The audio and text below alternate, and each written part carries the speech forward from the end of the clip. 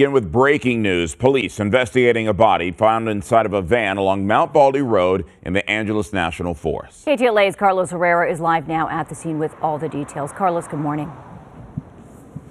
Good morning, Lauren and Chris. Uh, this death investigation has been going on for several hours in this very remote area of the National uh, Angeles National Forest. Rather, we've learned uh, a woman has died. Her body was found inside a van. Let's get you over to some pictures from overnight. As you can see there, the investigation focusing around that dark-colored minivan. It happened, uh, according to authorities, just shortly after 10:30 p.m. here on Mount Baldy Road, just beyond Shinn Road. When officers got here, they located a van parked off to the right shoulder. They looked inside the vehicle and they found a woman who was unconscious and not breathing. The LA County Fire Department was called over, and then firefighters uh, just pronounced that woman dead on scene just moments later. Right now, investigators are trying to determine how that woman died.